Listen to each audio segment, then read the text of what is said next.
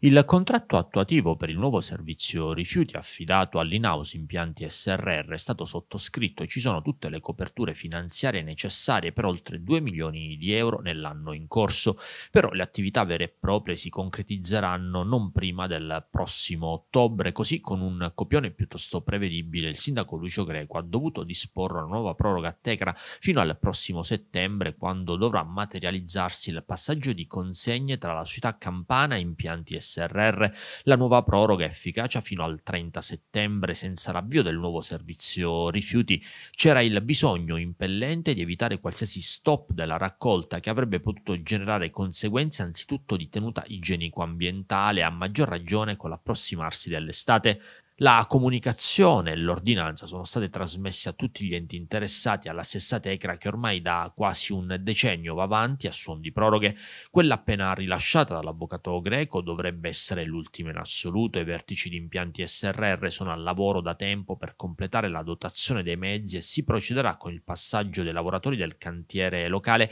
che entreranno a far parte dell'organigramma dell'in-house. È probabile che prima dell'avvio vero e proprio delle attività previste agosto ad ottobre impianti SRR con l'avallo della SRR4 effettuerà un periodo di pulizia straordinaria della città richiesto dall'amministrazione comunale. Per i prossimi tre mesi comunque Tecra dovrà coprire il servizio rifiuti che negli anni non ha certo brillato per efficienza, ingessato da condizioni contrattuali che non sono mai state aggiornate e su questo aspetto l'azienda campana è passata alle vie legali chiamando in giudizio proprio l'ente comunale.